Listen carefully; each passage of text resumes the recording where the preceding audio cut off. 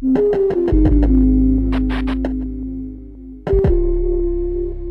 4 The Long Escape.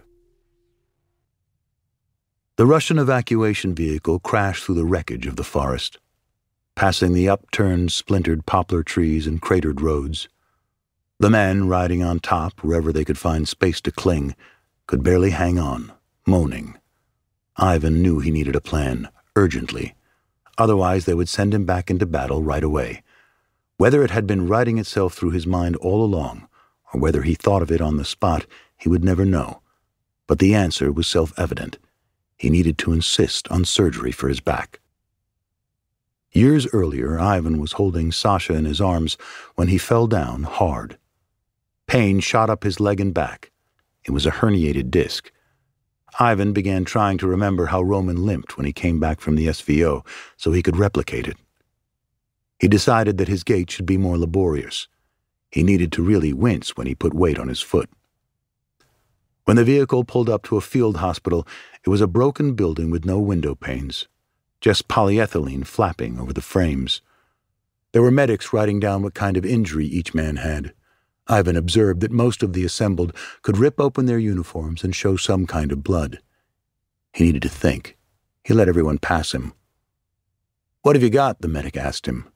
My back. What, you got hit in the back? Wounded? No, my back's jammed. Hernia. The guy eyed him. All right, I'll put you on the other list. At the entrance, the men unclipped their belts, unlaced their boots, and handed in their armor. The injured were wandering around in their socks on tiles streaked with blood and grime. The nurses couldn't keep up with the mopping. Ivan saw one of his subordinates, Space, talking on a cell phone. He thought he had bagged everyone's phone and left them with Lion before the operation. Why do you have your phone? Ivan demanded. Well, shit, Commander, Space said. I had more than one. First of all, you're an asshole. You didn't follow orders, Ivan told him. And secondly, give me the phone now. I need to call my wife. Ivan dialed Anna. Everything is fine, he told her. I'm alive. We're back from there. Anna was sobbing so hard she couldn't speak. When Ivan got off the call, he went inside. It seemed as if the doctors there were churning everyone they could through an x ray machine. They told Ivan they would x ray his back, too. My problem doesn't show up on x rays, Ivan insisted. I need an MRI. No one listened. The doctors at the field hospitals were overworked, underprepared, or underqualified. Either way, they had a reputation for making mistakes. Bearblood, Ivan's deputy, who lost part of a finger in the battle, wasn't even x rayed properly, so they didn't spot shrapnel in his wound, which would get infected and fester. Months later, he would need to have two additional phalanges removed. As the men waited, someone brought them breakfast. The plate was plain, watery potatoes with meat and onions, but Ivan had never tasted anything so good. It was almost sweet, melting in his mouth. There was tea in regular cardboard cups. The firmness of the cardboard felt like a luxury. A galette, which was probably not even a galette, that they dunked in the tea seemed so sweet, too. An hour ago he was under fire, and now he was sitting barefoot on a bench eating delicious food. He couldn't stop marveling at the contrast. He was sure in that moment that he would remember this meal for the rest of his life. Ivan limped all the way to the sleeping quarters. He washed his clothes. There was a shower. The two minutes under the water felt like a dream. He hadn't showered in more than a month. He lay down on a clean cot. It felt so soft. That these realities existed simultaneously was bewildering. A place where there is always something to eat which people tried to clean with running water, and yet at the same time, in the distance, you can still hear the explosions, he thought, and promptly fell asleep. The next morning, Ivan was told he would be pushed onward to a hospital in Donetsk for further examination. The men loaded up into a truck. Donetsk was where the military sorted the injured, the fulcrum of the reverse march from Russia's strategy of throwing its men relentlessly at the front. Some were operated on there, others were flown to Moscow or driven to Rostov on Don. As they waited for intake and triage, Ivan relished the line. The same worthless paperwork and thumb twiddling that had always irritated him became an asset. He had a lot to think about. He needed to get back to Russian soil. He wasn't sure what he would do once he got there, but he knew it would give him the time to figure it out. Donetsk was not safe enough. If you were unlucky, it was still possible to be redeployed to the front line in a few hours. The doctor who initially examined Ivan referred him to a neurologist. When Ivan said he needed a neurosurgeon, he was told there were none. The neurologist began to probe his leg, raising and lowering it, telling Ivan to tell him when the pain started. Ivan yelped, There, there, he feigned. You'll be fine, the doctor told him. It will pass.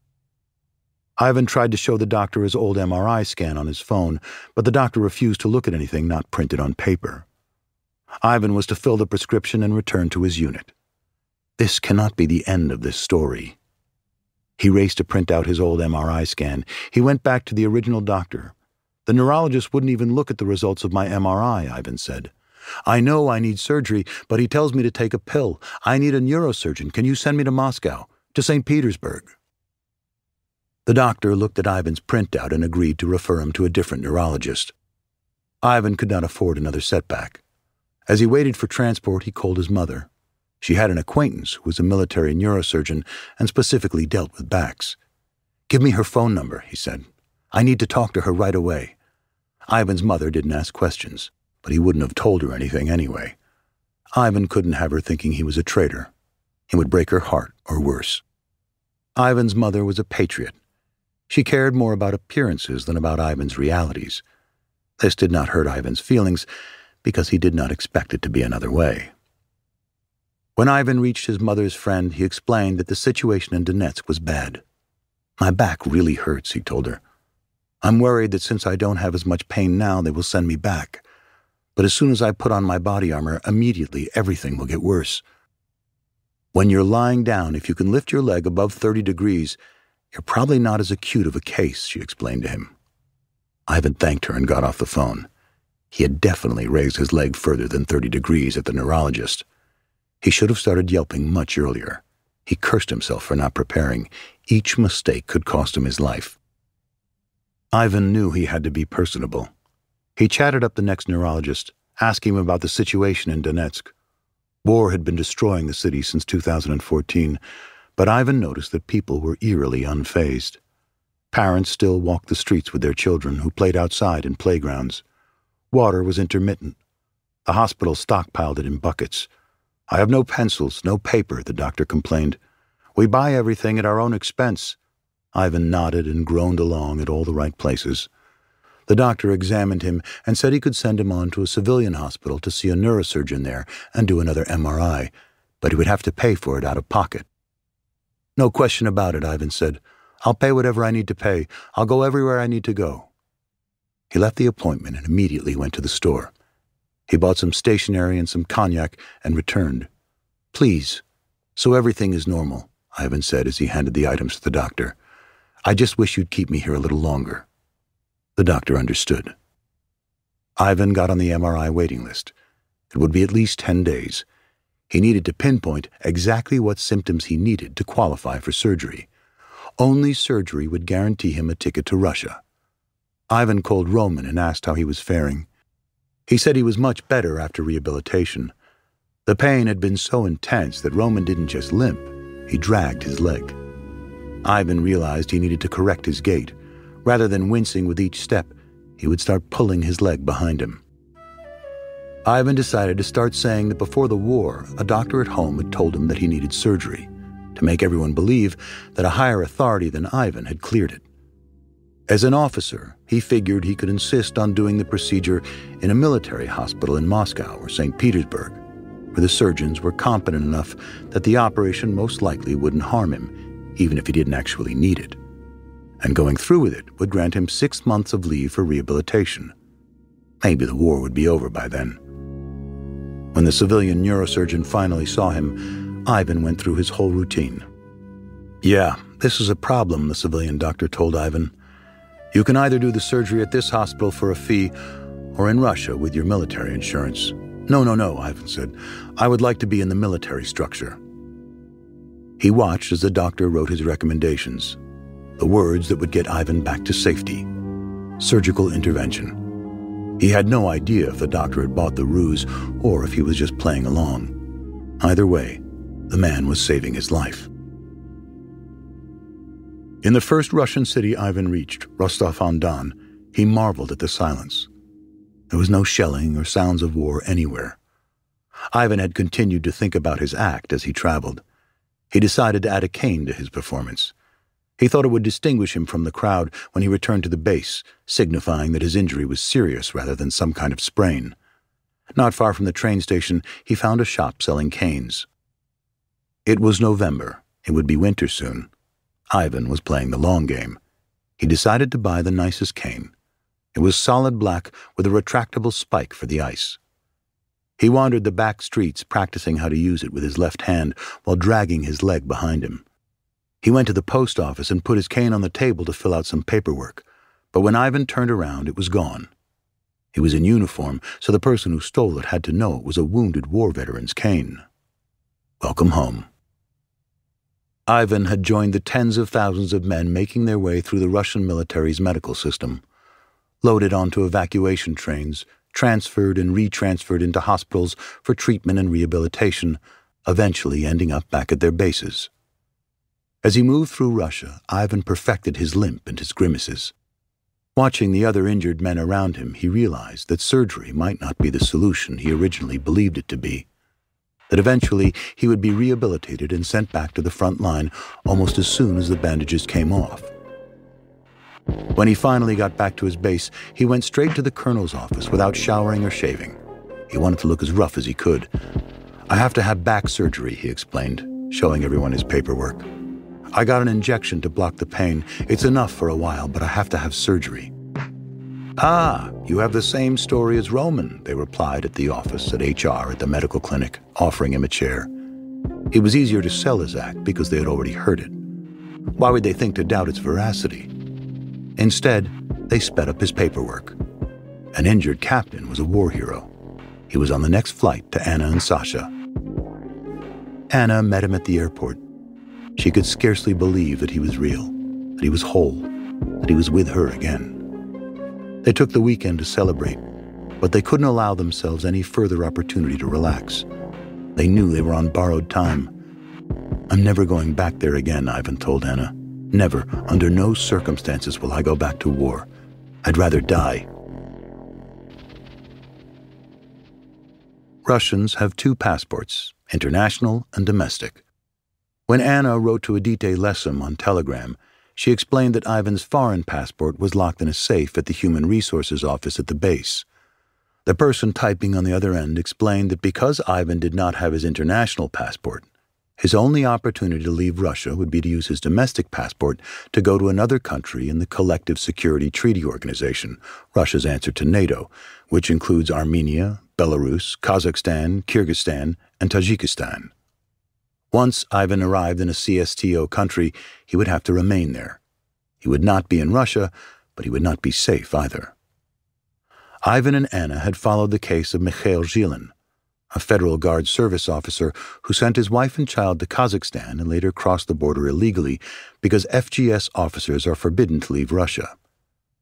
Moscow put Zhilin on an international wanted list, and the Kazakh authorities arrested him despite his request for asylum. In December 2022, they deported him to Russia despite the public pleas of his wife and efforts from NGOs. Zhilin was subsequently sentenced to six and a half years in prison for desertion and illegal border crossing.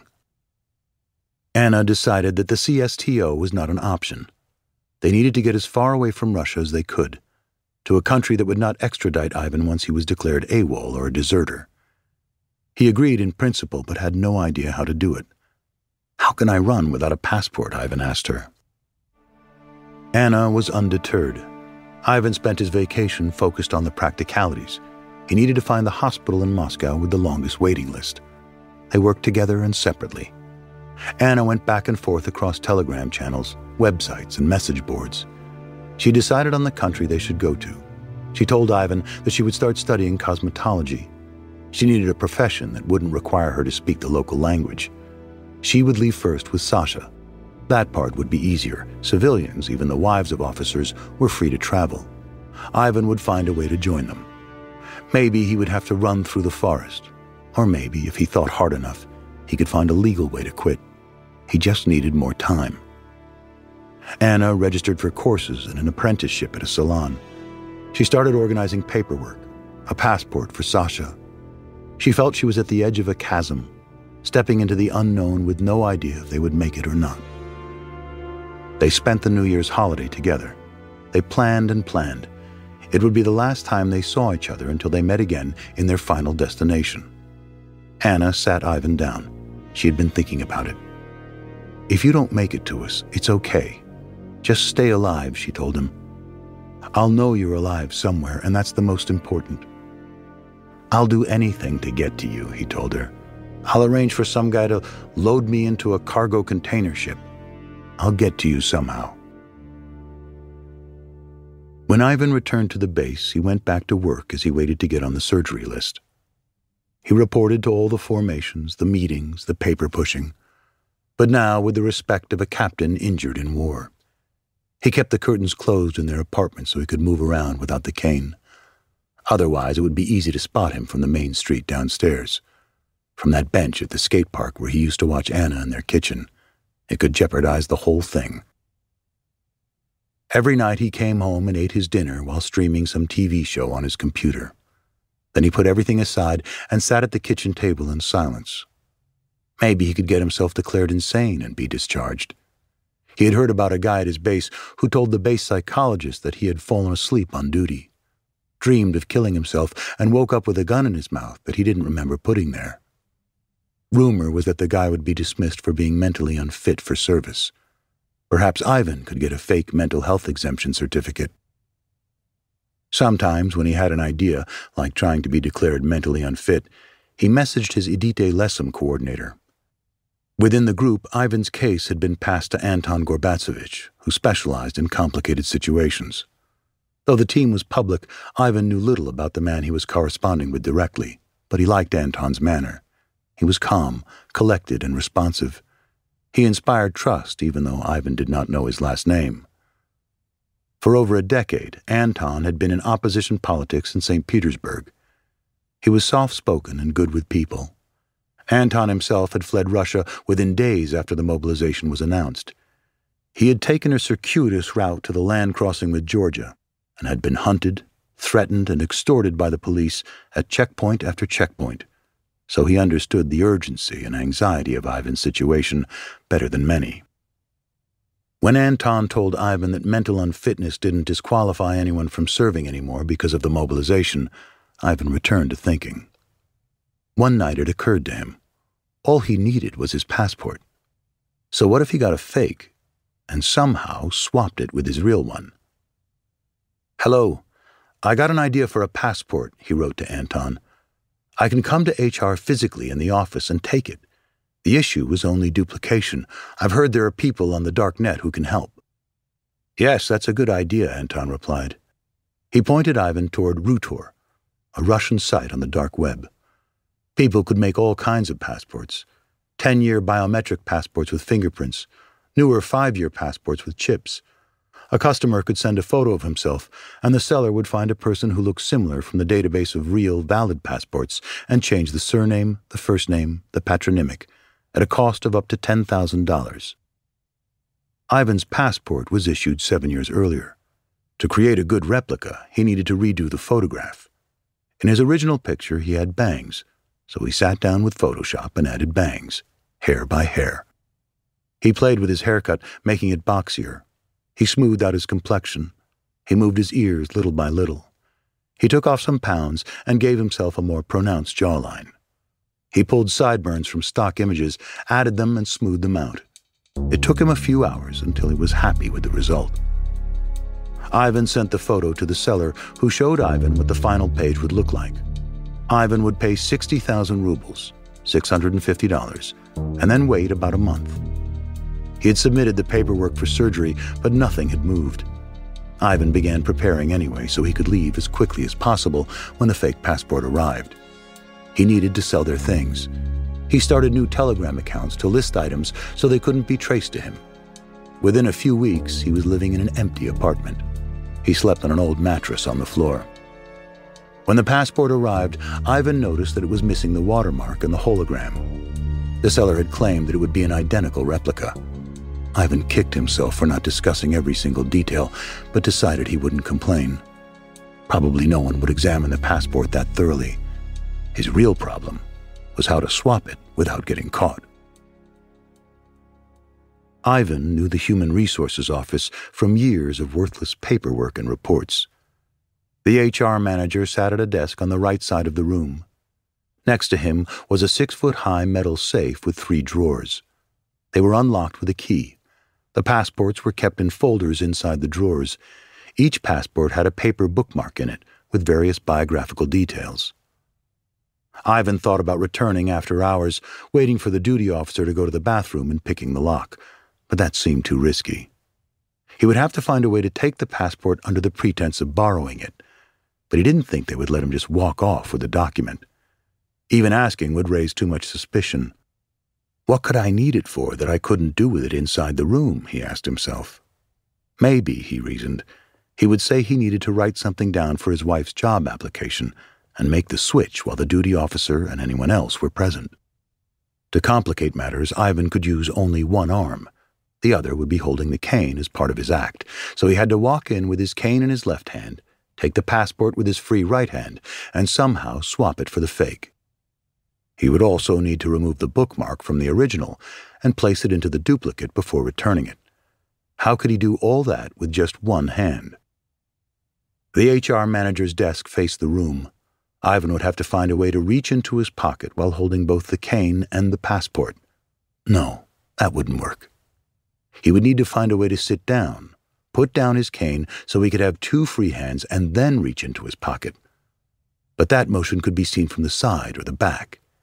He decided he had to avoid unnecessary movements.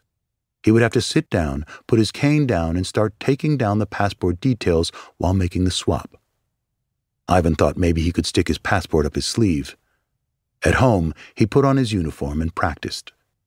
The passport was bulky, bigger than his wrist. Someone could notice. Ivan sat down at the kitchen table to think. He attended meetings with a moleskin type notebook Maybe he could take the notebook as if he were coming from some mindless meeting. He carried it in his right hand. What if I take it, open it, and slip the passport inside? When he tried it, he realized that the notebook bulged a bit. You could see something smaller sandwiched inside the larger book easily. Just imagine if it slipped out and there were two identical passports on the ground. He sat down again to think. What if I cut a hole in the notebook and put it in there? Ivan took out a knife and carved a hole in the center of the notebook's pages. He left blank pages at the back, so if anyone asked him to write something down, it would still be usable. He practiced how he would do it. He would walk into the office.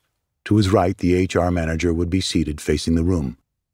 Privyet, can I have my passport, please? I need to write something down for my wife. I'll copy it down right here, Ivan rehearsed. The guy would turn, open the safe, and hand Ivan the passport. Ivan would take the passport with his right hand, the same one holding the notebook, and walk over to a table he knew was on the other side of the room. If it was empty, he would sit down. If it was occupied, he would say, Buddy, can I sit down? I'll write it down quickly. He was the one with the cane, after all. Of course you can, comrade captain, he imagined the reply. He was an officer, injured in war. Ivan would sit down and lean his cane against the table. Keeping his original passport in his right hand, he would open the notebook with his left, his fingers flipping the cover to reveal the duplicate passport in the hole. Ivan would pull out the duplicate with his left hand and insert the original passport with his right. Once it was in, he would pull the bookmark out of the passport and close the notebook. He would reopen the notebook from the back to an empty page and start to copy the details from the duplicate. As he wrote, he would casually lean back in his chair and ask the guy how the morning formation went that day, so he would see that Ivan was relaxed. When he was done, Ivan would close the notebook from the back and pick it up tightly by the binding in one hand with the duplicate passport on top. He would return it to the duty officer the same way he had taken it and walk out leaning on his cane. He spent a night and a day at home practicing the movements. He timed it until he could do it fast, almost with his eyes closed. He wanted to be quick, muscle memory, so if he were nervous, he wouldn't stumble or shake. The trick wasn't just in the double handed swap, but in moving the pages and cover backward and forward with his fingers simultaneously, like a difficult piano piece. Once he mastered the movements, Ivan spent a week casing the HR office, determining when it was the least busy. He learned that the usual senior human resources officer had left for the SVO, and that in his place was a green young lieutenant whom Ivan outranked. Perfect. Ivan waited for the evening, when he had noticed that there typically were fewer people in the office. When he walked in, the young officer was alone. Once Ivan explained what he needed, the officer handed him the passport. Ivan took the original and sat down. His hands were steady, left fingers flicking open the notebook, pulling out the duplicate, while his right hand dropped in the original and pulled the bookmark out seamlessly. He slid the bookmark into the duplicate. It couldn't have been more than a few seconds, but it felt endless. The passports were swapped. Ivan opened a fresh page and began to write numbers. How did the formation go? he asked, leaning back in the chair, turning to the officer. Well, damn, there was some bullshit there, the kid replied. Yeah, like always, Ivan answered, relaxed, slowly writing. He stood up, took his cane, walked back to the desk, and handed over the passport. The guy didn't even look at it, just put it back in the folder. Ivan walked out of the room and back to his car, holding the notebook tightly in his hand. He got in and settled behind the wheel before allowing himself to peep inside. He saw the hologram. It was his original passport. His insides melted. He had really done it. He called Anna. The bird is in the cage, he whispered. The bird is in the cage.